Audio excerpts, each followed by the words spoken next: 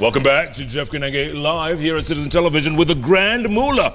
By the way, Grand Mullah, you said a moment ago about um, Central Kenya, Kimani Ichung'wah, Mheshimiwa. Yes, yes. He's on Twitter saying, I couldn't agree more with Ahmed Nasir. Central Kenya has no foolish people.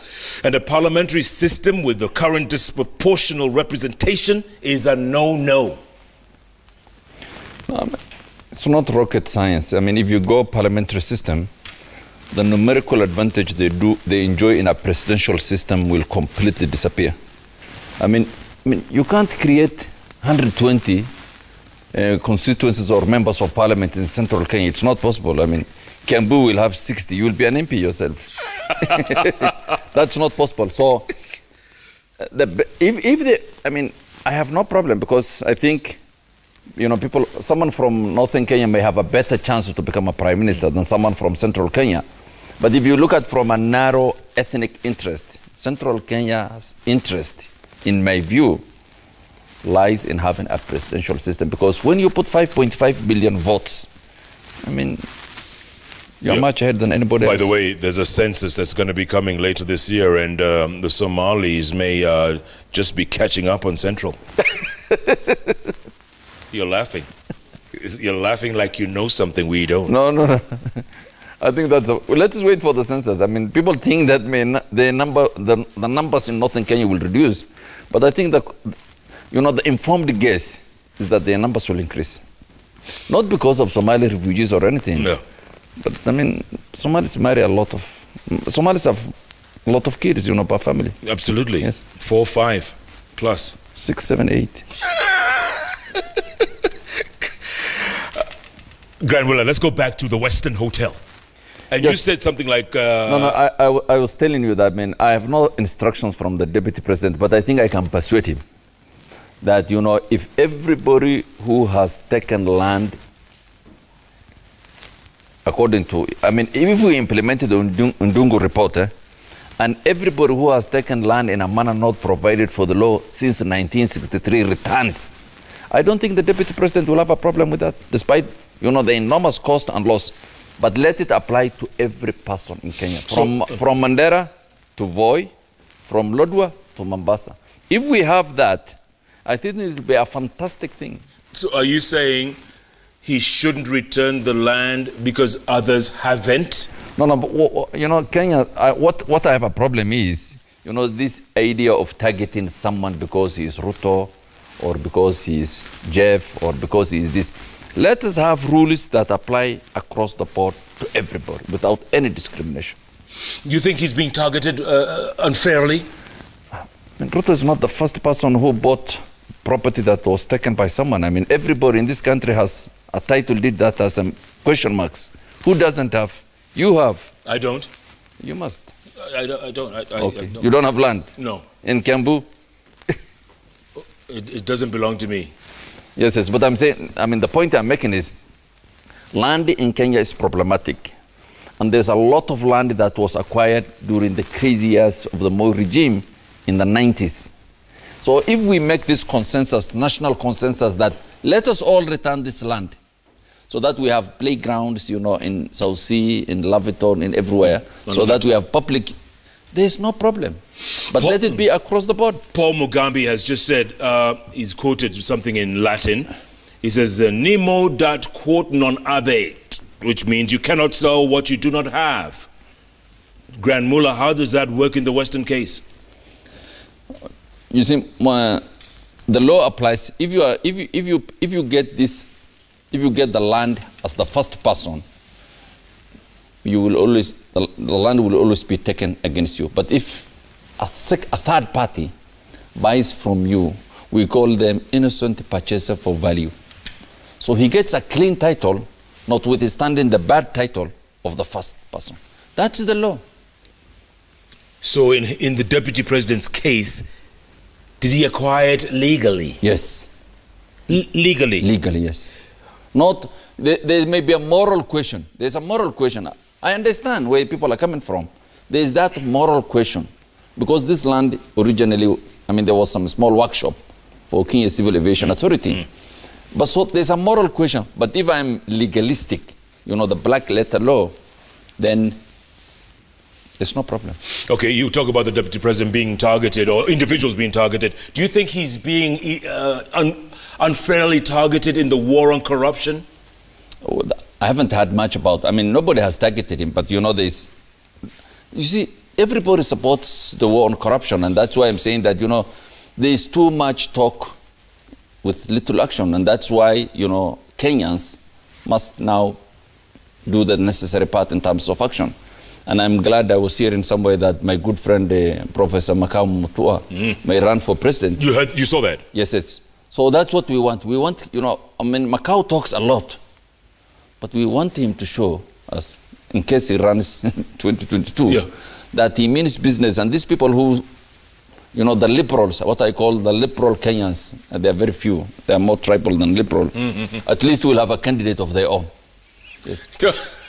Tell me something. If Professor Makau Mutua were to run, what are his chances? You know, it's good to try. Let's see how, I mean, I mean, I think, he, I, I think it is important for people like Professor Makau, you know, who have so much promise or who make so much noise on certain issues, you know, to try their ideas into the Kenyan body politic and see the results for themselves. Well, at the same time, one can argue Miguna Miguna ran for president. He makes noise on certain issues. Miguna, does, Miguna shouts, he doesn't make noise. There's a distinction between making noise and shouting. He shouts. what is the distinction? No, I mean, you make noise. I mean, no, noise is like I mean, when we say someone makes noise, it's like, I mean, he, he, he makes a constant points in a certain discourse, you know. Mm. I mean, uh, when Makau Mutua talks, he's, a, I mean, he's a rational guy. He's a professor. He talks sense. Uh, Miguna doesn't make that sense, you know. You, you've always said that this fight against corruption, it seems like it's not heading anywhere. We're losing the fight. Look at today, Samburu, 2 billion Kenya shillings. That's just one county. There are other governors being sought, apparently, allegedly. What do you think about this war on corruption? Are we losing it? No, no, but you see, when did we say we are fighting corruption? I mean, this is, I mean, there's a lot of noise about, you know, corruption, but you see, corruption needs more than this, you know. I mean, if we want to fight corruption, we fight corruption what is the starting point of fighting corruption? You know, that's a very difficult doctrinal question. When do, I mean, how far do we go back? Do we leave the corruption of the 60s? Do we start now? Do we start? But you see, you can't fight corruption. You have to fight corruption when you know that the police can do proper investigation. And there's a question mark on that because I am a lawyer and I do a lot of, nowadays I do. I, I never used to do, but lawyers, you know, we are coming back to the, the criminal bar. Mm. The investigation is very poor. The prosecution is very poor. The defense is very good. So you can't fight corruption. So, so, so you don't, you don't, you don't think the, the, the new sheriffs in town are doing a good job, DPP and DCI? I think the jury is out. We will see by December what how, how well how, how, how well how good they're doing in December because by December quite a number of cases that have been in court will be concluded, and uh, from what I hear, I don't think the result will be that the judiciary has been accused of being the weak link in the fight against corruption, is it? No, no. It's not, you see, it's not the business of the judiciary to help the executive fight corruption. That's not the job of the judiciary. And sometimes I wonder when I see the chief just saying that, you know, we will play our role. The judiciary can play its role by being efficient, by being, you know, by disposing cases quickly. But in terms of the accused person and the government, the judiciary is neutral. The judiciary doesn't give a damn whether an accused person is convicted or acquitted. It has no interest in the case. If someone is acquitted, he is acquitted because there was no evidence. If someone is convicted, it's because there was evidence. The judiciary is a disinterested party. Yeah, but recently you saw the Chief Justice transferring judges from the High Court and the Court of Appeal. Was this in relation to what was being said about the judiciary being the weak link? No, no, no, but you see, I've tweeted that. I the, you know, the Chief Justice's job, it's not the work of the Chief Justice to please the President. If the President or someone in the executive is unhappy, about the judge giving orders against the government or upholding the constitution, the Chief Justice should clap for that judge, not transfer him. So do you think the Chief Justice was pressured to do those transfers? Do you think he was pressured from above? I mean, I don't have that empirical evidence, but my guess is as good as yours. What do you think? Why were there some lawyers who were dissatisfied with, uh, with the transfers? I was myself. I mean, I. Um, yeah, amongst them you. Yes, yes. Um, we don't want, you know, I mean, when a judge when a judge makes a name for himself, for example, in a in, in a one division of the court, he gives progressive jurisprudence. He upholds the rule of law. He stops the government from doing this. He stops this. I mean, that's a good judge. I mean, uh, the judges who have been transferred by the Chief Justice, both the, this transfer and the last transfer, yeah. were excellent judges. Mm. I mean, let us see the judges. I mean, we know the judges he has brought, some of them. I mean, I think Kenyans will be disappointed. Yeah, one, one in particular you were disappointed with was uh, Chacha Mwita. You were disappointed that he was transferred. You were pissed off. Why? No, no, Chacha, I know. He was my classmate. Someone I know. I mean, he was doing an excellent job. I mean, if you look at the case, I, I mean, if you look at, you know, if you look at how productive he was, how progressive he was, uh, my view is that every time you rule against the government, in a country like Kenya, every time you stop the executive, you are correct.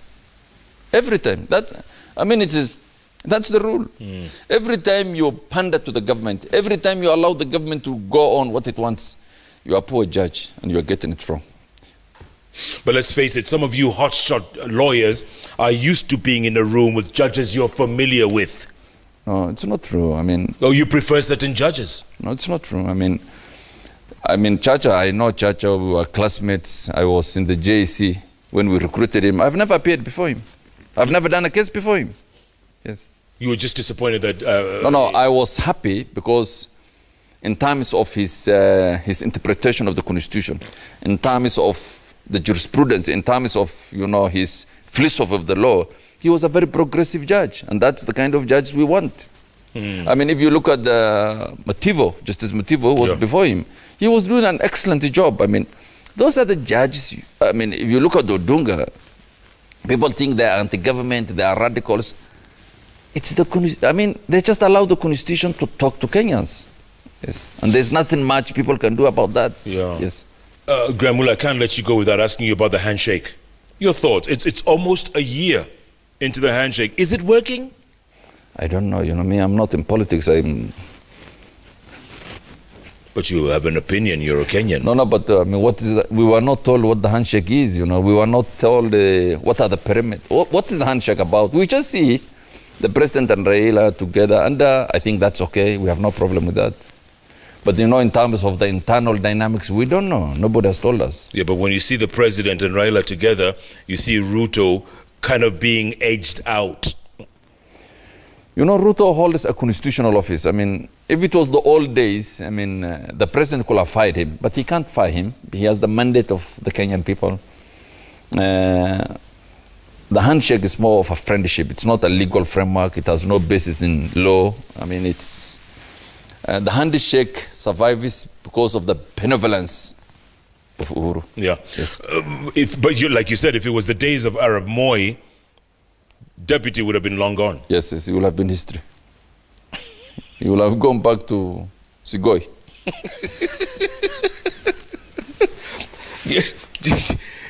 Has, uh, what about in terms of stability? A year later? No, no, it's good. I mean, the country is stable, you know. But you see, the country is stable because there's no opposition.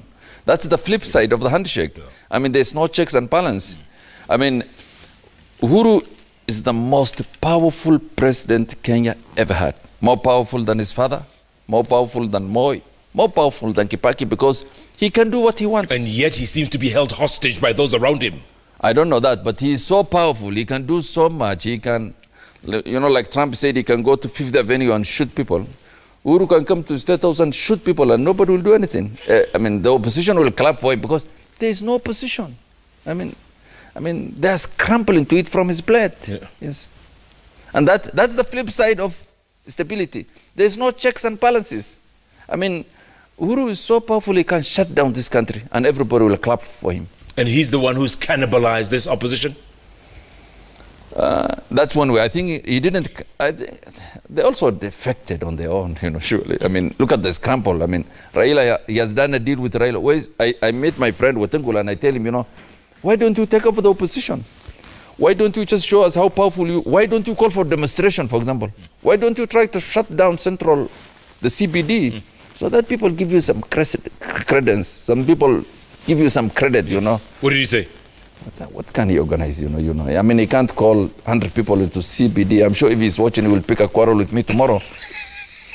but isn't that the reality? that, now, apart, that apart from Raila, yes. nobody else can call a demonstration or a crowd. I mean, give Raila his credit, you know. He's a man with some gravitas. Yeah. There is no opposition leader. Look at, look at the space gap in in Kenya.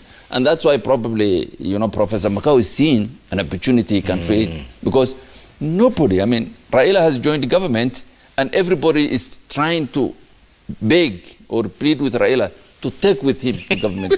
Including Kalonzo now, who's inside the tent. Eh? But he's, he's not inside the tent, he's peeping. What about the man who calls himself the official opposition leader, Ekuru Aukot? No, I'll give him credit. I think he got the 1.3 million uh, signatures.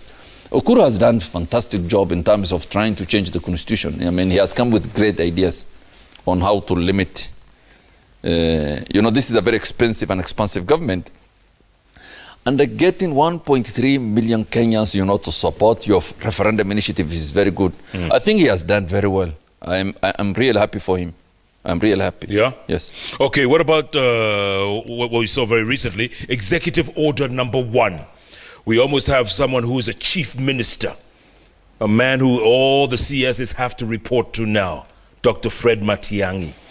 Your thoughts? No, no, you see, I mean, I mean, the president is in charge of the executive. He can always reorganize it. And I think the deputy president, I mean, Fred is a good friend of mine. He's a nice guy, very hardworking you know, very sober, very effective. I mean, one hell of a guy. Very, I mean, fantastic. He will do a good job. I mean, uh, when he was in the education ministry, he did well. When he was in land, he did well. When he was in ICT, he did well. I mean, OP is too expensive, it's too expensive and big, but I'm confident he will do very well. Is he a good presidential material? Yes, yes, why not? He is, he is, he is, he is. When Uhuru told us uh, not too long ago that he, tutashanga, we will be surprised could this be the surprise? I don't know when he when he wants to run or when he may be told to run. But Fred is Fred is Fred is Fred is a guy with vision. Fred is a guy with focus. Fred is a guy with energy. Can Matiang'i beat Ruto? I don't know. It depends on them. Even I can beat many people, you know. It depends on the dynamics. It depends on who is pushing you, who is sponsoring you, who is funding you. A lot of things. Yeah. Even you, you have potential. Me? Absolutely. Oh, for what? President. Some people like uh, COTU Secretary General Francis Atwoli uh, have said that President Kenyatta is too young to retire, that they, we need to extend his term or give him something. What do you think? That's, you know, this idea of uh, the two-term limit is very important. And uh, let's not go the way, you know, some West African countries have gone. Why, why so far? Why not next door? Which one? Uganda. I mean, Uganda is a unique case, you know. I mean, Uganda, I mean, uh, Museveni came through the barrel of the gun, and I think he still rules through the barrel of the gun. I mean, this constitution is just a veneer of. But we are different. We are not Uganda. I mean, uh, we took 20 years to write our constitution. We are proud. I mean, we are one of the best democracies in the best democracy in East and Central Africa, and one of the best in Africa. We have a very good constitution. This idea of uh, doing away with the two-term limit is a lot of bullshit.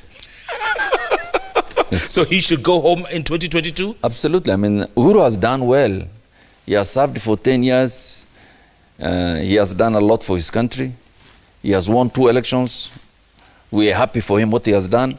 But after, after his two term, he should retire. Why not? There's the talk of a Putin scenario.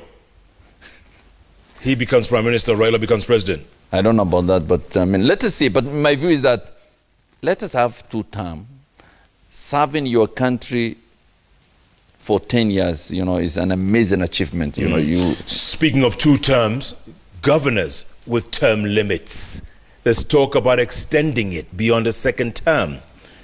What do you think? Those No, no, who have served two no, terms now? We should have our two term. It's a good. It's a good governance mechanism that when you serve two terms, ten years is a lot. I mean, if you are governor for ten years and you have done nothing, or if you are governor for ten years and you have not stolen enough, I mean, too bad.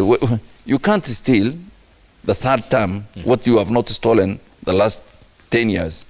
So most of these governors, you know, they're just thieves. They just want to steal. But they have, I mean, they're, they're rich, you know. There's no governor who is poor. Hmm. That's why we are saying, you know, this issue of corruption, nobody's serious about it because you see your next door neighbor so rich and nobody's asking him, you know, come, how did you get this? After two terms, what should they do, Grand Mullah? Should they move to the Senate? Already one has declared that they No, want but to. why don't they go to business? Why don't they? Some of them are lawyers. Why don't they practice? Some of them are doctors. Some of them are, I mean, isn't there life after two terms, governor? Isn't there life? Of course there's life. They used to the power, they used to being in the trough, they used to being close to where the eating is. But that's the problem we have. I mean, that's the that's a cultural problem that you know you have to be in one form of government or another for you to make money. There's many other ways of making money. I mean, there's a lot of money in the private sector. Hmm. Let them go to the private sector. Before we go to tweets, I got to ask you real quick. Nurses strike. Government says can't pay, won't pay. There's no money. I mean, I don't. I mean, I'm, I'm not very familiar with this nurses strike, but you know, I mean, it's a constitutional right to strike. I mean, it's we we, we- you know, we are liberal democracy. We are constitutional democracy. People can strike when they want, but it's always good to sit down together and you know reach a middle ground. There is no problem that you cannot sort through negotiations. Yeah, but the president is saying there's no money. Is the government broke?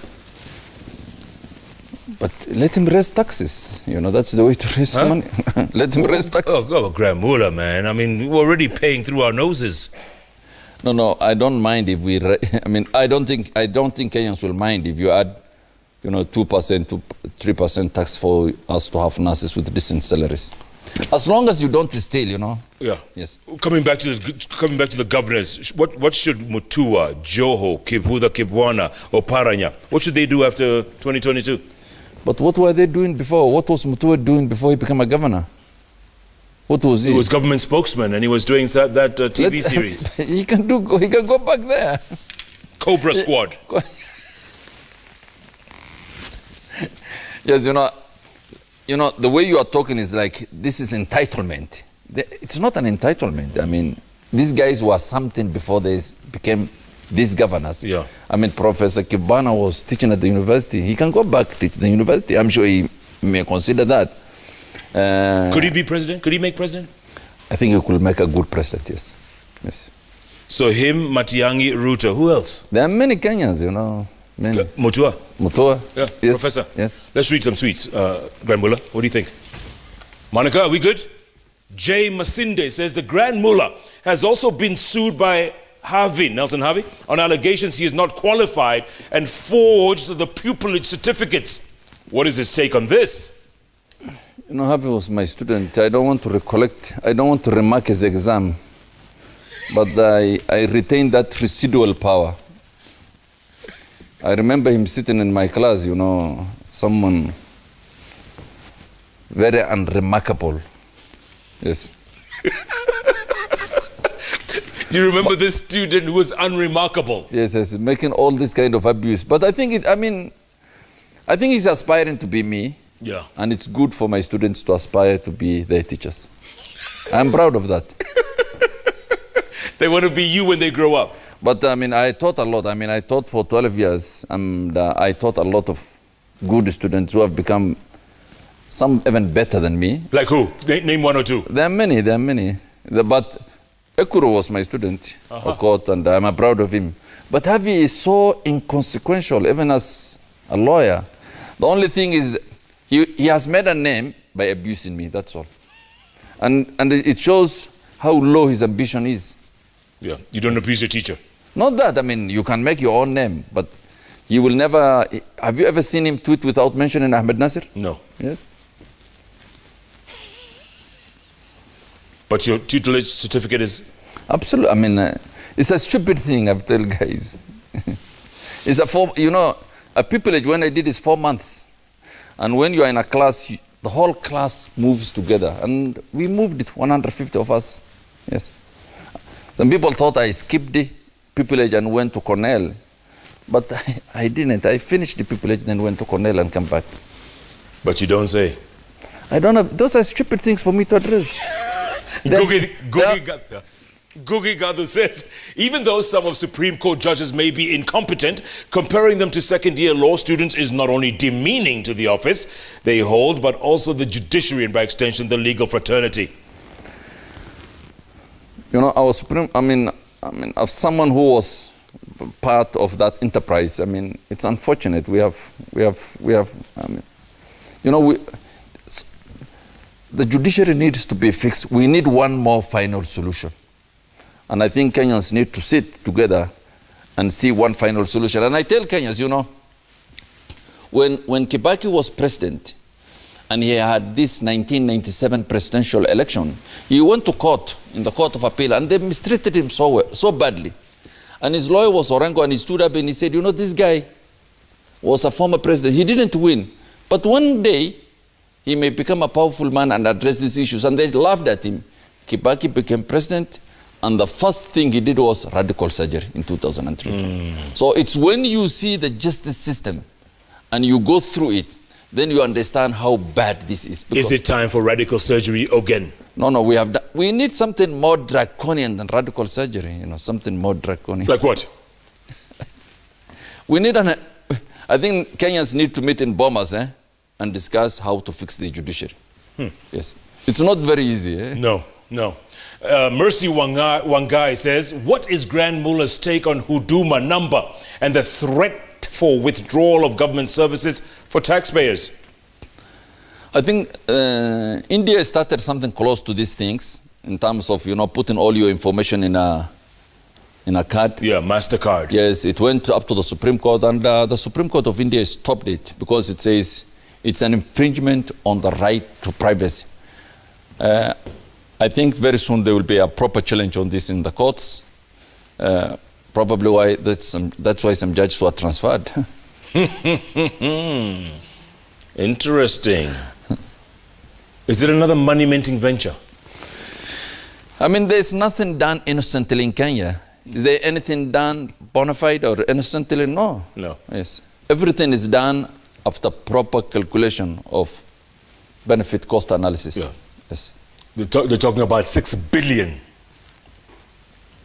I think it's something that can be done for a billion probably. But I mean, this is Kenya, you know, let's move on. Let's move on. Mawaka. If the judges are as corrupt as Ahmed Nasir says or wants us to believe, the lawyers are the conduits between clients and judges.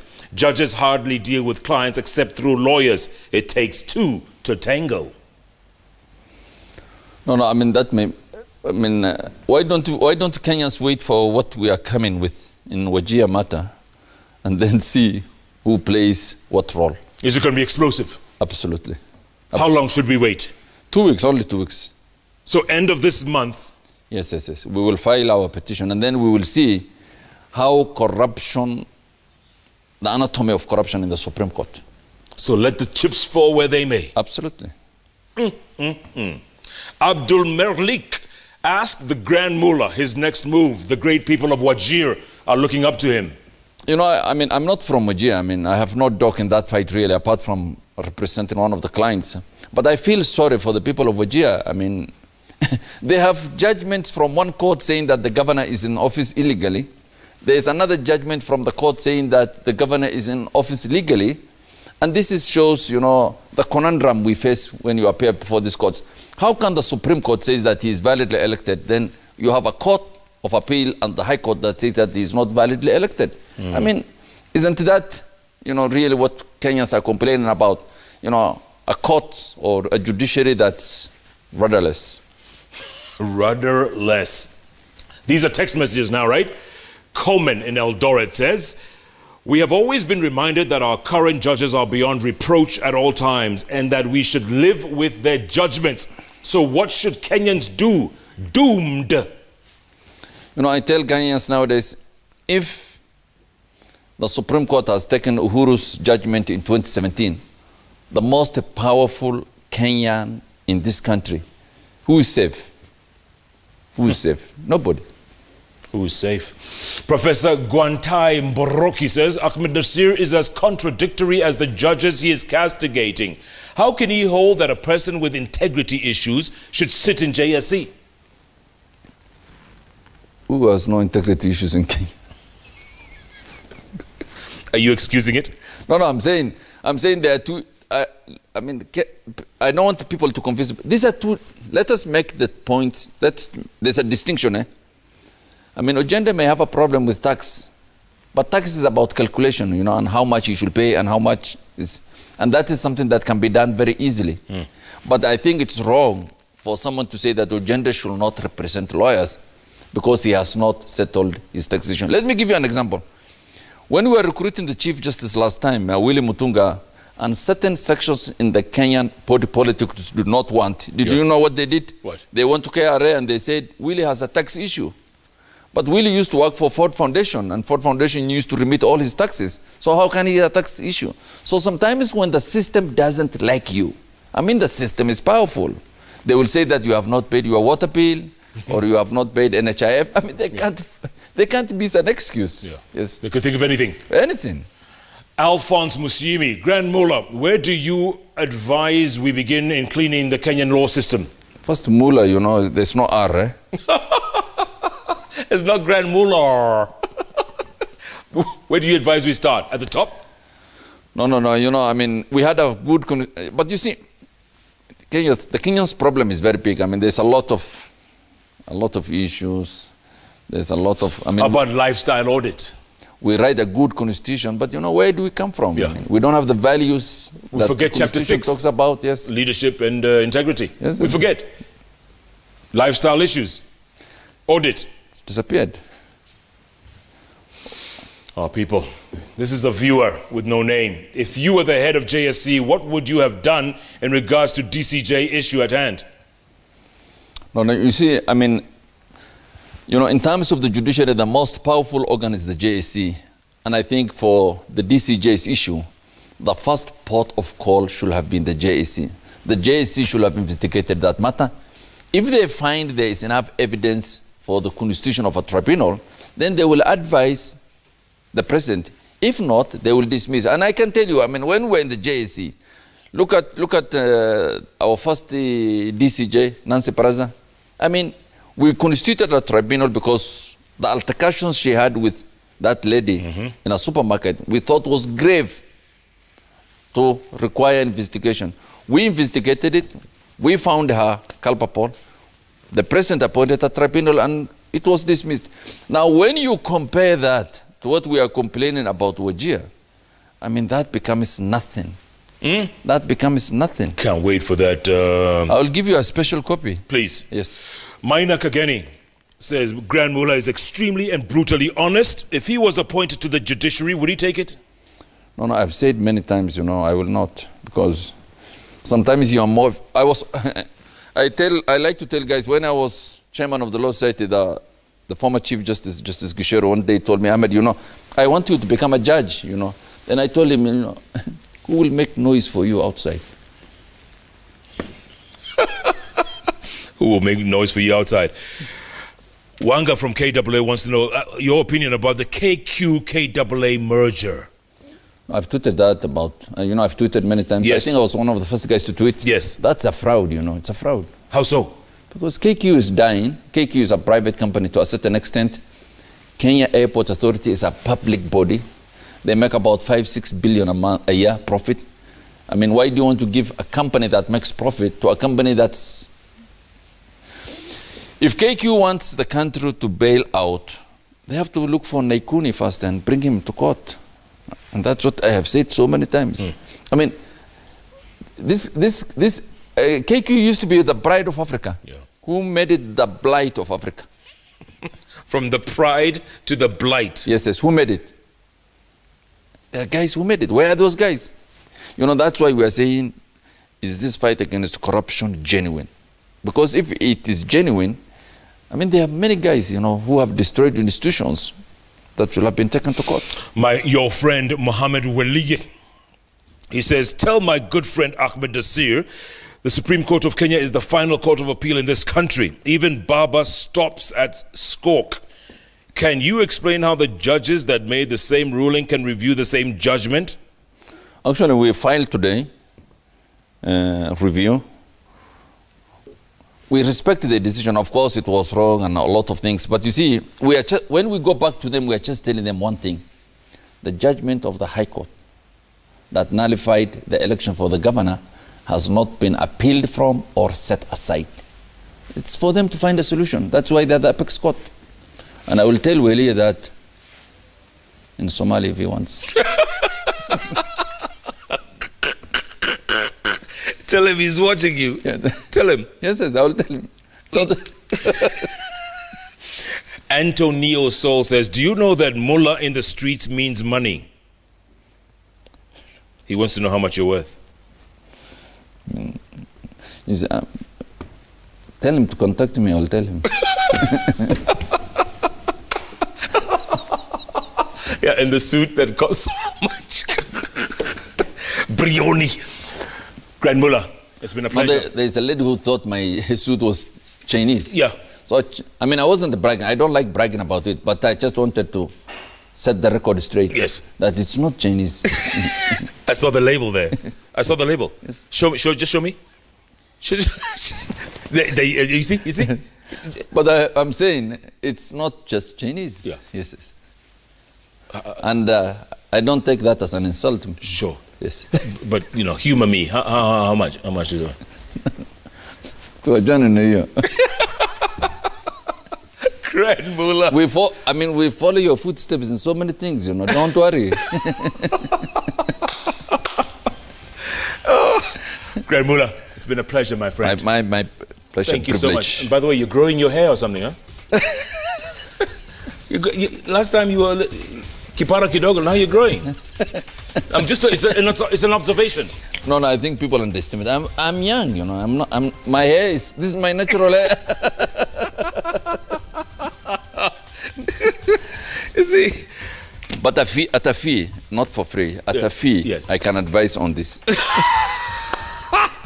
if a client comes to me and says, you know, Ahmed, Yeah. can you advise me on this kibara of mine? yes. I will open a file and I will advise. And send the bill. Folks, you've heard it straight from the Grand Mullah himself. What a man. He is just smoking today.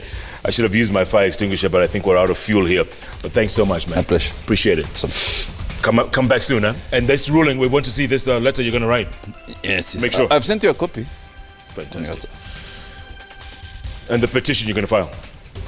Remember, folks, every Wednesday, it's all about those three letters on the keyboard JKL that follow each other. Nowhere else can you get a live interview, one on one, not recorded, Okay. live.